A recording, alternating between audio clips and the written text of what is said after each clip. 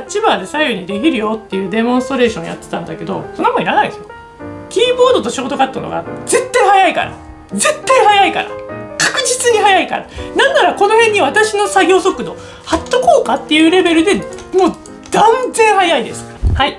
こんにちは。2016年10月31日朝でございます。えちょっと土日調子悪くて眠ってました。ずっと本当に寝てました。で、え金曜日にね、新型 MacBook Pro 発表されたので、その話題でございます。というのも、まあ、ただ、もう3日経っちゃってるんで、あのー、こんなのが出たよっていうのはもう皆さん知ってると思うので、今回私どうするかとか考えを述べようかなと思っております。えっ、ー、とね、まあ日進月歩なんでテクノロジーはね、昨日の話はもう今日古いみたいな感じになってくるんで、まあ、どうするかっていうところなんですけどあの生放送で、えー、発表会見てそれの抜粋を載せたとアップロードしたと思うんですけどそこではまあ今回は買わないかな。やっぱ結局私が欲しいのはエアーで薄くてちっちゃいやつだからっていう話をしたんだけどちょっと若干というかもうかなりもうポチっちゃおうかなぐらいまで今来てます。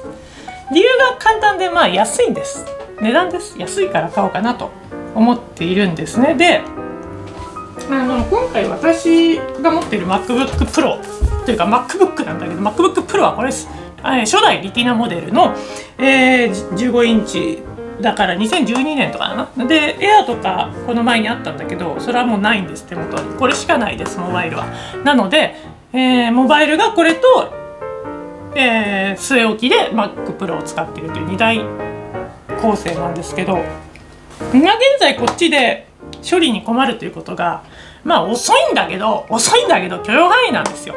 あのこれ一応ねあのー、GFOS 乗ってます。GFOS 乗ってるんです。だからそこそこ動いてくれるんですね。ただ4年前のものなんでバッテリーは死んでます、えー、もう1時間持ちません。重いことすると15分とかであの切れます。もうバッテリーは確実にあのお亡くなりになってると。あとはもう1個なんですけどモバイルで使ってると私今これで使う場合外部のマウスやキーボード使わないんですね。ここで全部やるんでトラックパッドと。なので人間側の入力が落ちると著しく低下すると。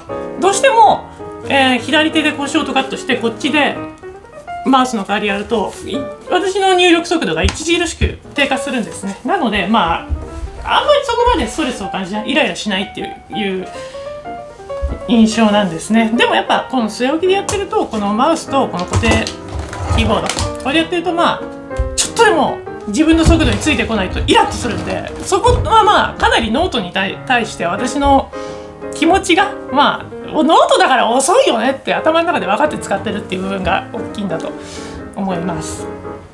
で今回の MacBook Pro なんですけど私が興味あるのは13インチだけですね。なので今回買おうかなと迷ってるのは13だけです。で15はもう重いしでかいしであまり最初から興味がないです。というのも解像度も今もうリティーナーズバンバーンって上がっちゃってるし画面でかい方が解像度が上がってるまあ次元密に上がってるんだけどもうそもそもぶっ飛んでるんで解像度が。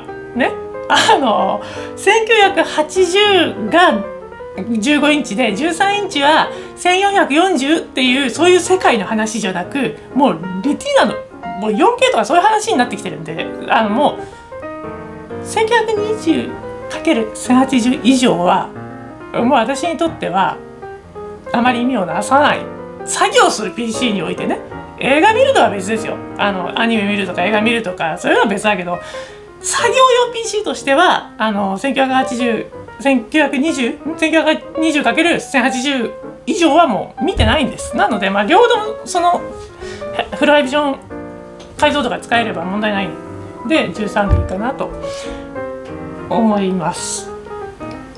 えー、でまあタッチバーありのバージョンとタッチバーなしのバージョンが13インチには用意されてるんですね。タッチバーありは15インチは全部タッチバーありなんだけどちょっとタッチバーの説明だけしときますねあの MacBook, MacBook Pro 他のレビューとか何も見てないよっていう方のためにねタッチバーっていうのは今回ここの往年のねねパパソコン始まって以来ずっとついてきた一番上のファンクションキーを全部取っ払ってここをタッチパネルにしましたと。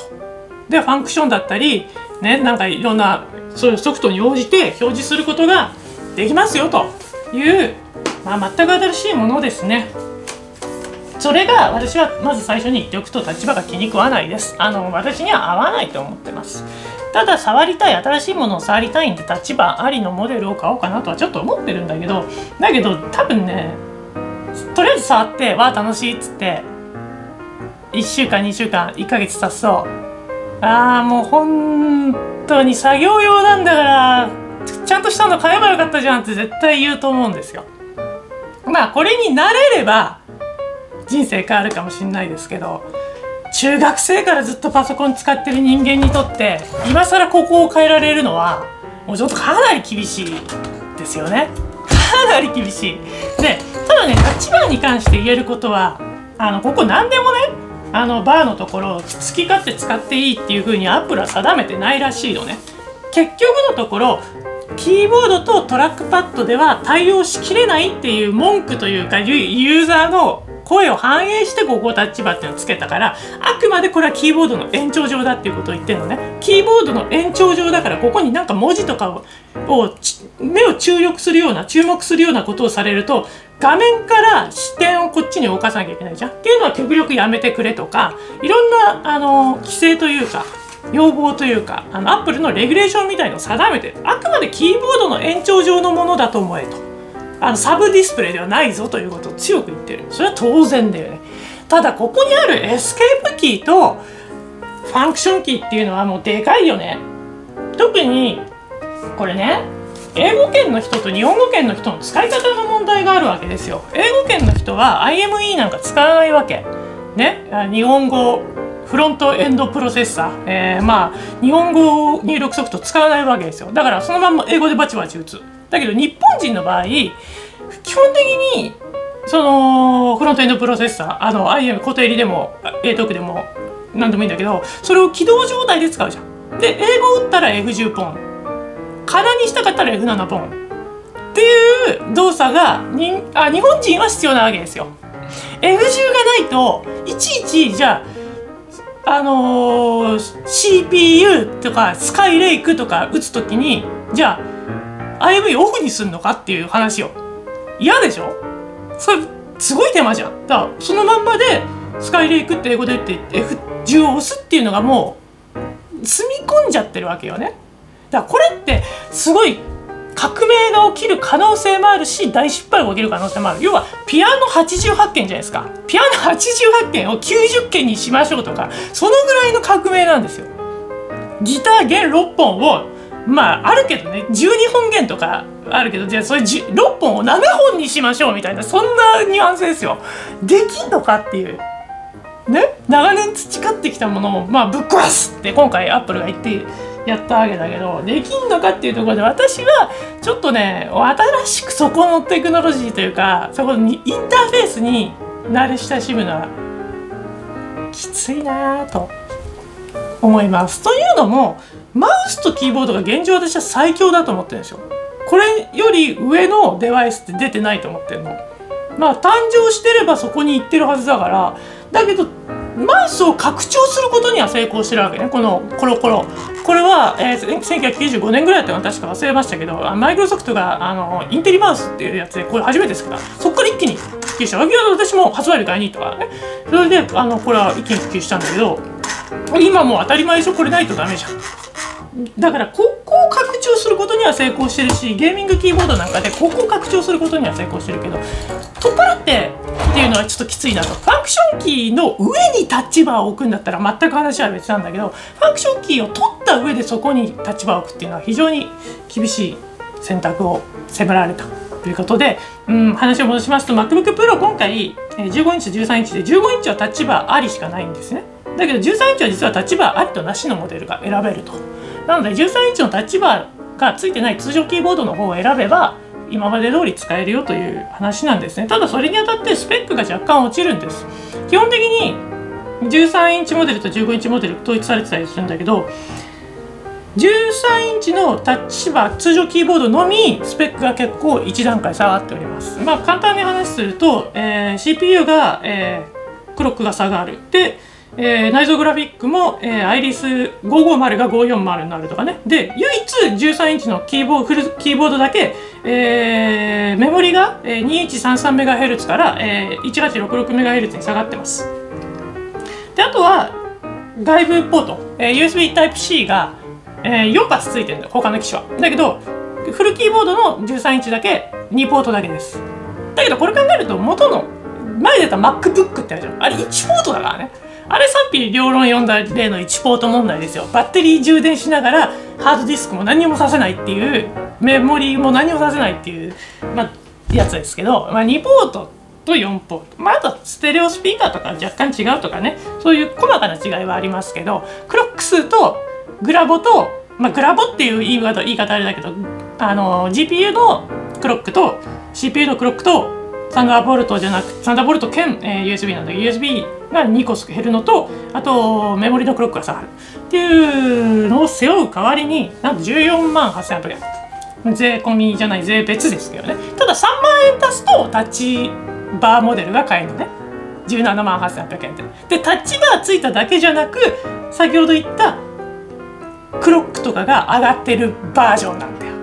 だもなんでそこで差つけたかなっていうところですよもう本当に。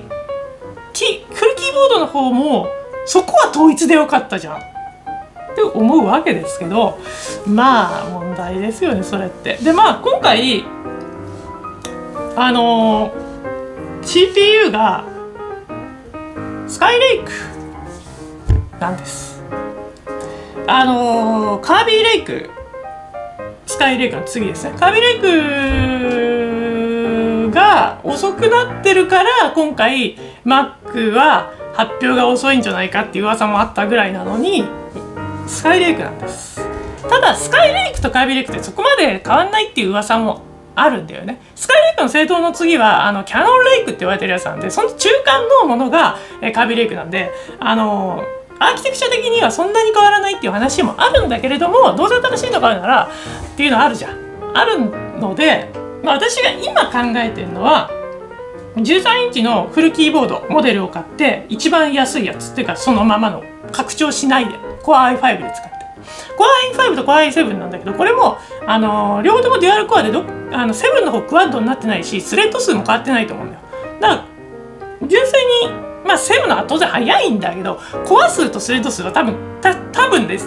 すいません。あの載ってないんです。アップルの使用書ってほとんど。そういうこと。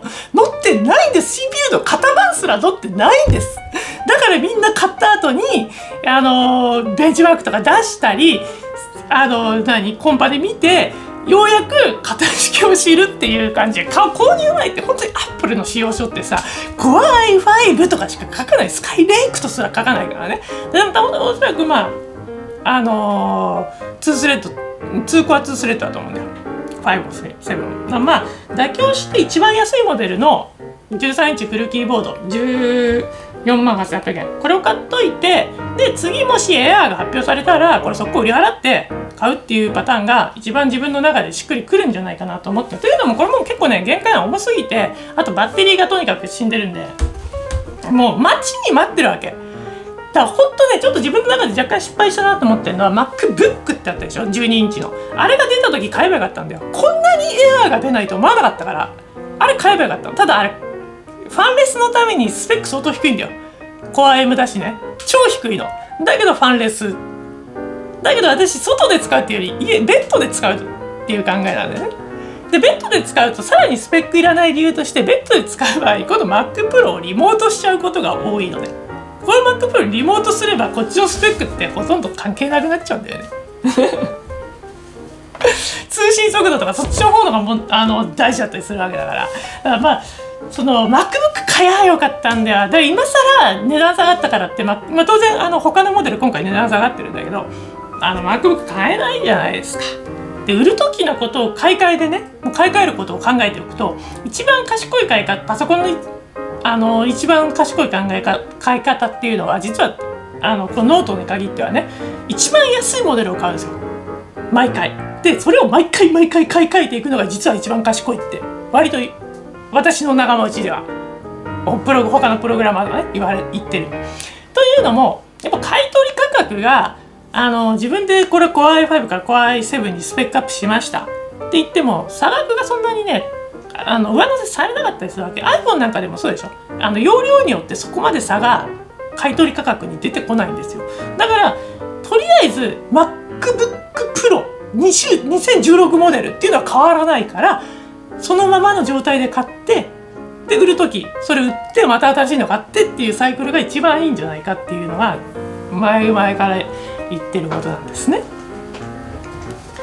これもちなみにパップしてないんじゃないかな。まあただ CPU だけ上げたい気もするんだよね。まあメモリはね8ギガ積んでるんで、まあ十分ですね。16もいらないんで。あの、16も使えないんで、逆に言うと、あの、こっちから16って使おうとしない限り、使えないクラスだと思ってる。私はね。自分から使わない限り、使えない領域だと思ってる。8ギガ以上はね。まあ、4ギガでもいいんじゃないかぐらいの勢いだと思うんだけど、まあまあまあ、その辺はね、メモリも安いですからね、今ね。で、SSD も2頃で十分と。2頃で十分です。要は作業用とストレージは分けましょうと。まあ昔は OS 用と作業用とストレージ用と3つ使ってたのが当たり前だったんだよ。だから SSD 高かったからね。最初出た時ソリッドステートドライブね。10万とかしたわけですよ。本当に10ギガじゃあ230ギガとかで。それがねやっぱ OS ぐらいしか入んなくて作業用で。それをさ60とかにするとバーンって跳ね上がるから OS 用と。まあ、SSD じゃないそのさらに昔から OS は OS の OS ハードディスクっていう感じで分けてたのね。昔こうガシャンってぶち込める形のが。ね自作 PC やってると分かるんだけどこうなんかケースにハードディスク入っててそこをガンって入れるとガンって取り出せるみたいなのがあってそれで OS 作業用ストレージってわけだから、まあ、SSD でかくするのに、まあ、お金があればいいんだよ。お金がある人は大きくしてください。だけど私はそこに使いたくないんでまあ2頃で十分というお話でございます。でメモリも8ギガで十分。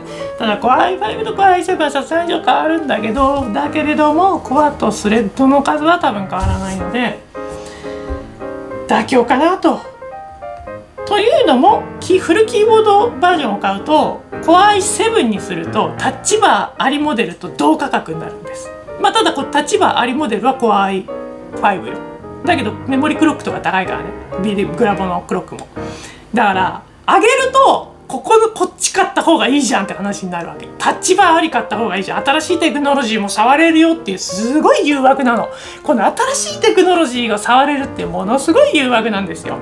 いやもちろんお店でねあの使いますよ使うっていうのはおかしいけど触らせてもらいますよだけどそれはもうその瞬間でしかないからそのファーストインプレッションのレビューしかできないわけですよだけど1ヶ月使った後の感想っていうのは本当の感想ですからねだからそれも触りたいんだけれどもだけれども個人的に今回紹介するとかっていう意味じゃなく自分が作業用として買うとなるとやはりファンクションなしは辛い。タッチバーありはいいんだよ。だけどファンクション取るなと。エスケープキーと F1 から F10 は取んないでくれと。いうことですよ。ねえ。やっぱりね PC98 なんていうのはね F14 ぐらいまでありましたからね。拡張して。まあそれはどうでもいい。今ゲーミングキーボードなんつったらさいろいろキーが多かったりするからね。なんでキーを減らしたかなっていうすごいよね。そこがまあアップルらしいっちゃアップルらしいんだけど私はちょっと無理かな。でファイナルカットの使まあメインで使うファイナルカットね、まあ、ほぼほぼメインというかもうほぼほぼファイナルカットファイナルカットであのー、プロジェクションなんていうの？あのプロジェクトがファイナルカットって横に伸びてるんですよ。これをタッチバーで左右にできるよっていうデモンストレーションやってたんだけどそんなもんいらないですよ。キーボードとショートカットのが絶対速いから。絶対速いから。確実に速いから。なんならこの辺に私の作業速度貼っとこうかっていうレベルで断然速いです。からこれとショートカットの方が。ちなみにそのちょっと前前に発表されたサーフェススタジオっていうマイクロソフトの新しいやつはタッチバーとかではなく新しいサーフェスダイヤルっていうコロコロのものを出しました。ちなみに私コロコロのデバイスって持っていてこれがここをコロコロすると、えー、できると。でここもちょっと見づらいけどこれ戻るんですね。車のハンドルみたくジュイーンって戻る。車のハンドル？なのかな？まあ戻る。ここは戻るでこれショートカット割り当てができる。だこれを右手に左手ショートカットもしくはここにショートカット割り当ててっていうのでいけるかなと思ったの。だけどこれでやるよりマウスのがいい。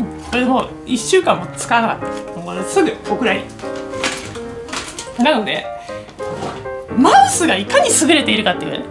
キーボードが優れているのはもう言うに必要ないわけですよ。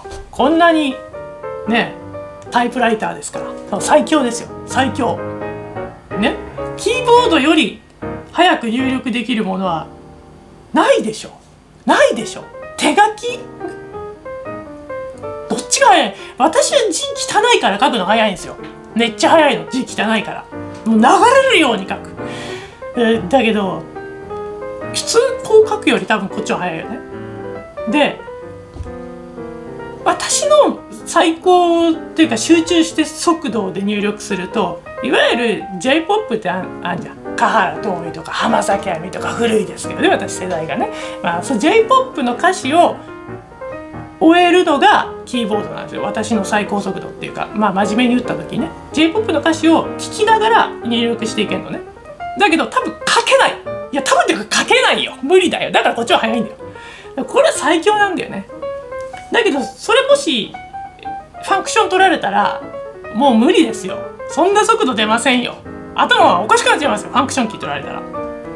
だけど立場触りたいんだよ。たこれがジレンマなんですよ。触りたい。だって新しいテクノロジー触りたくて触りたくてしょうがない。だけれども値段が高い。ね？いや10万だからね。いやパソコンとして考えれば安いんだけどおもちゃとして考えると高いんだよ。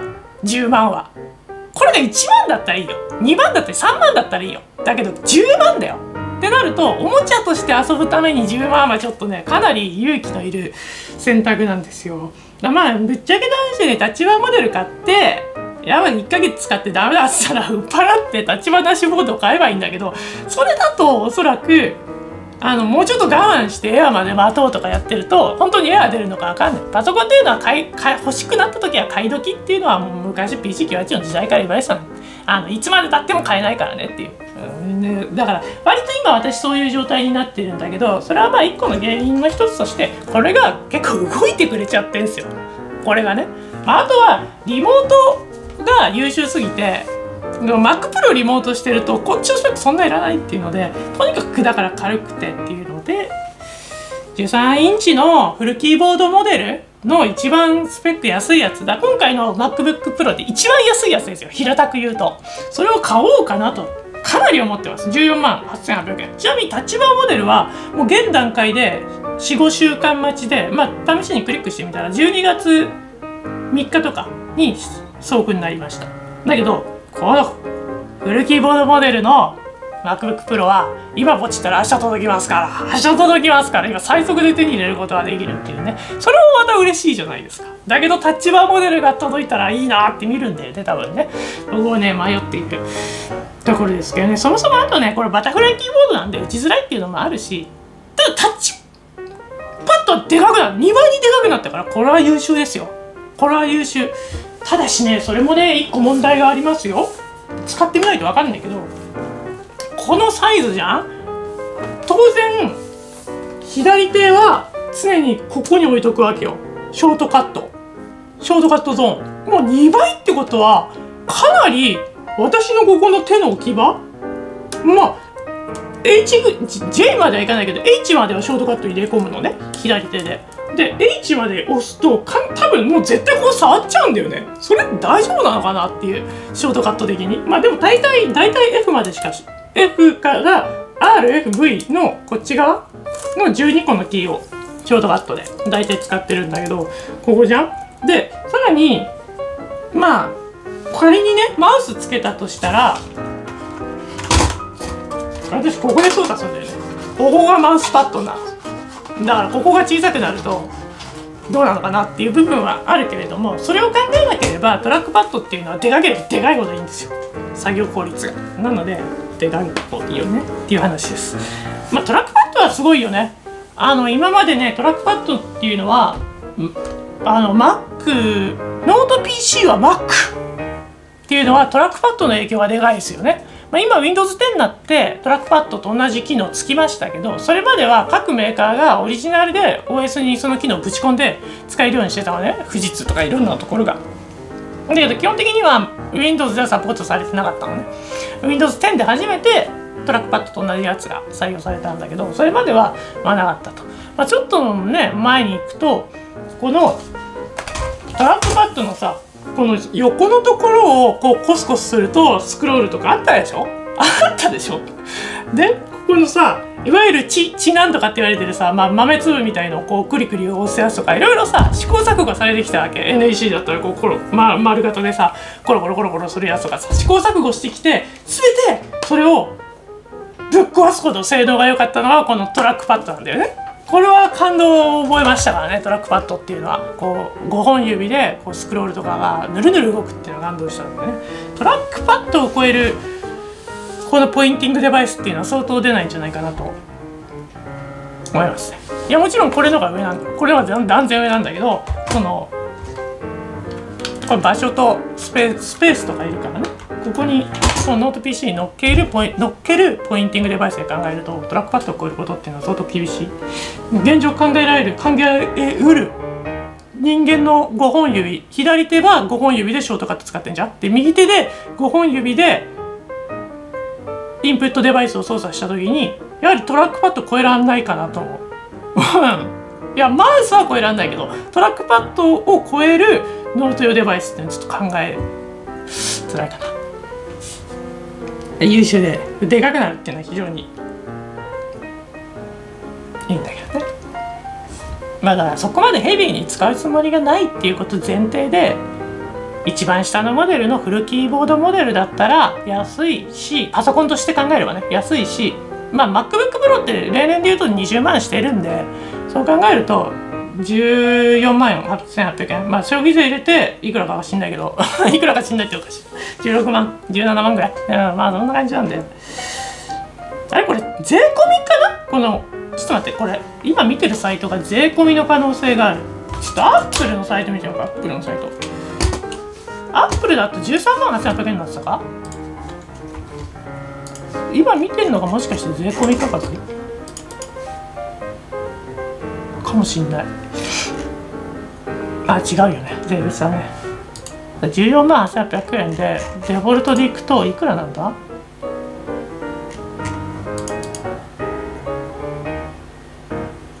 ？10え？ちょっと待っ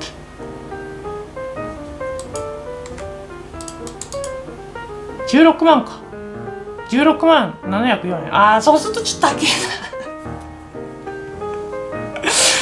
高く感じたな急に。急に高く感じたな。やっぱこれが心理学ですね。15万切ってるって思ってるこの感覚が。おっ10億っていうたったね。1万しか買ってないんですよ。事実1万しか買ってないんだよ。え12インチ版 MacBook っていう手もあるんだよ。これピンクがあるから可愛いっていうね。どうでもいいんだけどさそんなことは。これがねちょっと値段がね、えー、下がりまして12万8800円になってるんですね。で税込みにすると13万9104円。あー2万円しかかんないんだよな。ってことは12インチ買う必要ないよね。だって古すぎるもん。いくらなんでも。なのでちょっと16万ポチろうかな。まあスマホを買うと思えばね今スマホ高いですからね。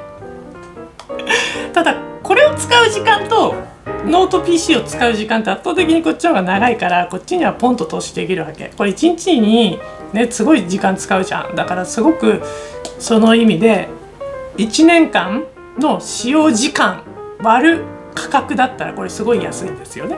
だけど使用時間割る価格で考えるとノート PC の16はちょっと重いな。重いな。でも買おうかな。13インチのフルキーボードのデフォルト設定で買っちゃおうかな。迷ってんだよな。タッチバー触りたいんだよ。タッチバー触りたいんだよ。触りたいんだけど答え見えてんだよもうほぼ。ほぼ答え見えてんだよ。たくさんのキーボード触ってきましたよ私。ゲーミングも含めてね。でゲーミングでいろんなところが拡張されたキーボードたくさん使ってきて拡張された機能使わないんですよ。ここに液晶がついたりとかさこの辺にさドドドドドっつってさあのー、マクロキーついたりっていうのさ使わないわけ。マクロキーここは指がいかないわけよ。だったらこの辺の使ってないキーをマクロ設定して押した方がいいっていう結論になって拡張されたキーっていうのがねどうも私はね使いこなせないというか苦手というか。うんやっぱこっから入ってるからね。PC98 でね。まあもちろん98の時とデザインだいぶ違うんだよ。違うんだよ。もうエンターキーリターンキー。F5 でランとかね。F5 押すとランがあったの。MS-DOS は F1 から F10 がないと使えないぞみたいな。あれですけど。まあ30分経過ということでこの辺にしときます。まあ新型 MacBook Pro についての私の思うところと今回迷ってるのが13インチのフルキーボードモデルとの一番安いやつという感じでまあもしポチってたら次の日に来るんでついに買っちゃったよってね。あーアップルアップルみたいなのができるかもしれないんだけど。